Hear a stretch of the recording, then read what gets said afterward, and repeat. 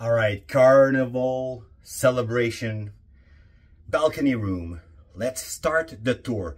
But just before, it's a little mess. It's a small cabin, even though we have a balcony, but I don't care because it's well made, it's clean, and I'm a messy guy anyway, so it's a little, a little bit of my fault. But let's start the tour. So, we are deck 12. We have this room. And like I got friend there, friend there, you know, here and there. You need your card for electricity. That's how it looks from here. Let's go see the bathroom. So it's a little small, of course, but compared to previous Carnival ship, the shower is a little bigger and I appreciate that and my wife will tell you she likes that. So that's your bathroom.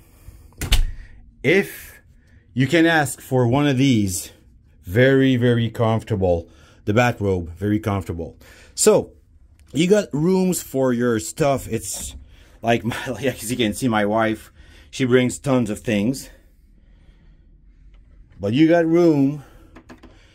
Same thing here. Here's the double bed. It's early morning, so it, it hasn't been made. But service is really good. It's going to be clean by the housekeeping. Giant TV where you can have all the information about your account, your cruise account, or where you're going and dining and everything.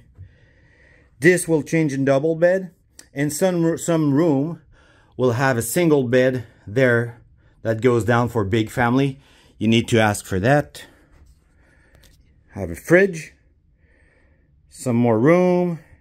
Some room there. And this thing here might flip the other side and it's to be a, a plateau so you can eat. So I bring my two daughters little plush and the balcony.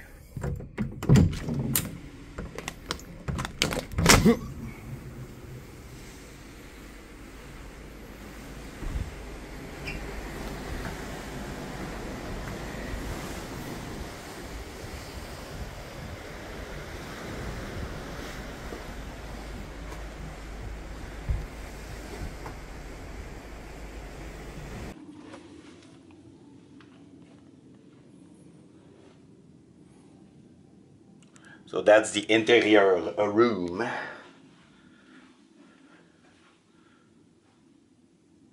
Better price, but pretty small. Honestly, for the price, balcony room on any carnival ship, I, always choose the newer ship, you know. But uh, thumbs up, thumbs up, and thumbs up the video and subscribe. More coming, like always. Bye guys.